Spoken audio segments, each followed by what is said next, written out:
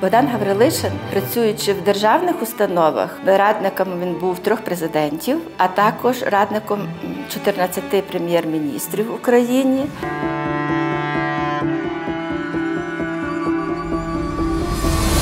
В 44-му році, коли наступала Червона армія, постало питання, як бути далі. Батько сказав, що потрібно виїжджати, тому що ну не знати, що їх тут чекає.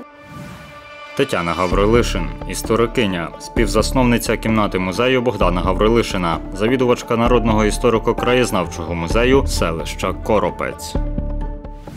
Богдан Дмитрович попав в Німеччину з сім'єю, почув, що є табір для українських біженців в Карлсфельді. І там Богдан Дмитрович почав здобувати середню освіту, яку він не закінчив Чорткові. Значимо, що із 106 випускників цієї школи, яку організували українські вчителі для дітей, 103 здобули освіту у вищих навчальних закладах Європи і Америки.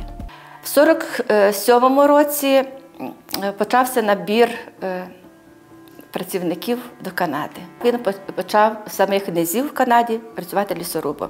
Пізніше він почав працювати барменом в одному з готелів і готуватися до вступлення до університету. Коли він здавав вступний іспит, він був останнім по результатах. Але коли він закінчував Торонський університет, він був першим серед випускників. В цей час в Женеї був створений інститут менеджменту, перший в світі, приватний. Богдан Дмитрович поїхав. Хоча перед тим йому пропонували працю в провідних фірмах американських, і він він казав, що я міг би працювати. Мене б чекали мільйонні статки, мене б чекав великий добробут, але він вибрав все ж таки розвиток себе як людини розумового складу, навчався потім. Його помітили, почав викладати. Після того, як е, директор інституту пішов е, на пенсію, Богдану Дмитровичу було запропоновано е, посаду директора. І він 20 років очолював Міжнародний інститут менеджменту у Швейцарії. Він е, приготував таку доповідь, яка називалася Дороговкази в майбутнє, де він передбачив розвал Радянського Союзу, економічну кризу.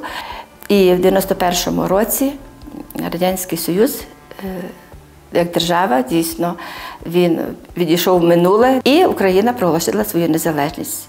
Богдан Дмитрович зрозумів, що він повинен працювати для України.